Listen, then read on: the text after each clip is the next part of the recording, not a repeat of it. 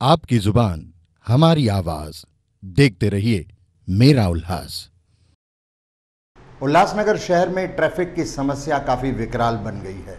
यह इतनी अव्यवस्थित हो गई है कि लोग परेशान हैं। आम जनता को काफ़ी तकलीफ़ों का सामना करना पड़ता है।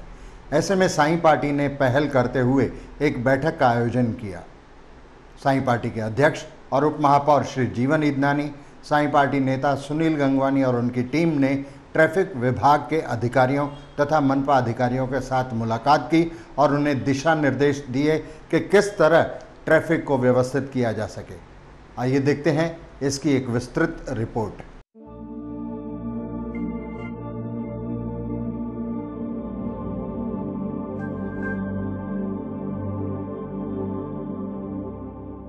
साई पार्टी के अध्यक्ष और उप महापौर श्री जीवन ईदनानी साई पार्टी नेता श्री सुनील गंगवानी ने उल्लासनगर में अव्यवस्थित हुई यातायात समस्या को सुचारू रूप से व्यवस्थित करने हेतु मनपा मुख्यालय में ट्रैफ़िक विभाग के वरिष्ठ पुलिसकर्मियों, वार्डनों और मनपा अधिकारियों की एक बैठक बुलाई, जिसमें उन्हें दिशा निर्देश दिए गए कि किस तरह पार्किंग व्यवस्था सुधारनी है, पी वन और पी टू को यहाँ लागू करना है, हॉकिंग जोन का ध्यान रखना है, वार्डनों को मुख्य स्थलों पर खड़ा करना है जहाँ जहाँ पर नो पार्किंग है, वहाँ पर गाड़ियाँ खड़ी नहीं करनी हैं और विशेषकर सत्रह सेक्शन जो मोबाइल बाज़ार है, वो वन वे किया जाना है, डिवाइडर हटाए जाने हैं और वार्डनों को सख्ती से निर्देश दिए गए हैं कि वो कथित रूप से लोगों से पैसे न लेकर ट्रैफ़िक समस्या को सुलझाएँ, सुधारें और व्यवस्था बनाए रखें।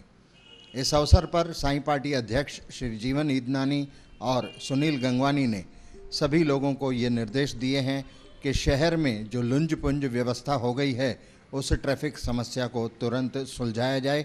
मीटिंग में ट्रैफ़िक विभाग के अधिकारियों, पुलिस कर्मियों और मनपा अधिकारियों ने उन्हें आश्वस्त किया कि किसी भी तरह आगामी कुछ ही दिनों में ट्रैफ़िक व्यवस्था को पूरे तरीके से सुधार लिया जाएगा, जिस पर श्री सुनील गंगवानी का कहना था कि साई पार्टी ने एक टीम बनाई है, जिसके सदस्य पूरे शहर में नज़र रखेंगे कि ट्रैफ़िक समस्या को सुधार किया जा रहा है अथवा नहीं। वार्डनों की नियुक्ति कहाँ कहाँ की गई है? डिवाइडर कहाँ से हटाए जा रहे हैं? कहाँ नो पार्किंग है जहाँ गाड़ियाँ खड़ी की जाती हैं? और किस तरह से पूरी व्यवस्था है इसकी पूरी नज़र रखी जाएगी। साई पार्टी ने आम जनता से भी आह्वान किया है कि लोगों को अगर कहीं भी ट्रैफ़िक की समस्या होती है तो इन ट्रैफ़िक विभाग के अधिकारियों से मोबाइल फ़ोन कर संपर्क कर सकते हैं और उन्हें बता सकते हैं कि कहाँ कहाँ पर ट्रैफ़िक जाम है, कहाँ पर यातायात की समस्या है। उल्लासनगर शहर में जो ट्रैफ़िक की समस्या है रोड पे खड्डे हैं और जो पार्किंग के बारे में जो समस्या है, नो एंट्रीज के बारे में है, और जहाँ जहाँ मतलब एरिया, मार्केट एरिया है, वो एरिया में ट्रैफ़िक कैसी सुललित होना चाहिए और कैसी मतलब ट्रैफ़िक के बारे में क्या क्या उपाय योजना करना चाहिए?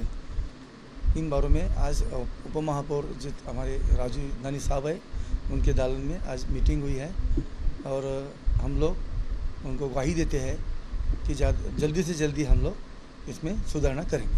आज जो मीटिंग हो गई महापौर साहब की, सही में बहुत ही बढ़िया मीटिंग अरेंज की है उन्होंने। थोड़ा सा वार्डन के बारे में भी डिस्कस हो गया है।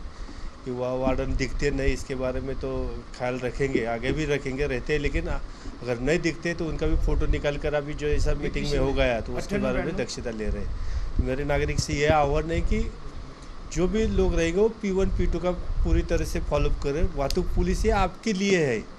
ये आपकी सुविधा के लिए दिया है, आपके ऊपर कोई ज़बरदस्ती कार्रवाई करने के लिए नहीं है।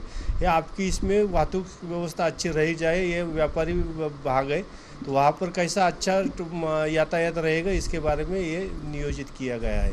इस वार्डन की मांगनी यह है कि ट्रैफ़िक पुलिस कम संख्या में नियुक्त हुए हैं। तो उसके मदद के लिए महानगर पालिका भी थोड़ी सी जवाबदारी आते हैं कि ट्रैफ़िक का और जो भी समस्या है उसके बारे में थोड़ा सा हल करने के लिए महानगर पालिका को भी इतला किया जाता है। उनके तरफ़ से ये वार्डन नियुक्त किए जाए उनको मान उनको पेपर चेक करने का कोई अलाउ नहीं है। कोई भी अगर पेपर माँगता है तो उसको पेपर जो वार्डन है वार्डन को कोई भी लाइसेंस दिखाना नहीं है कोई भी पेपर्स दिखाना नहीं है। अगर वहाँ पर हवलदार है, अगर वो माँगता है तो उसको दिखाना आपका काम है। आपकी ज़ुबान, हमारी आवाज़, देखते रहिए, मेरा उल्लास